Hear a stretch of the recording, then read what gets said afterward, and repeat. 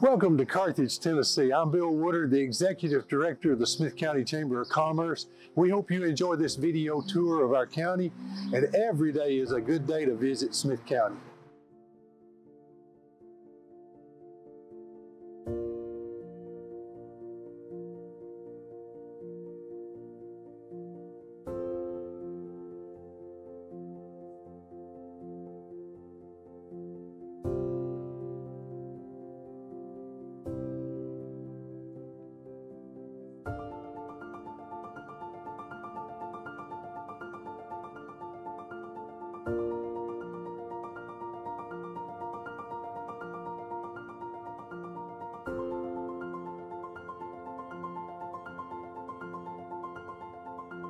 Thank you.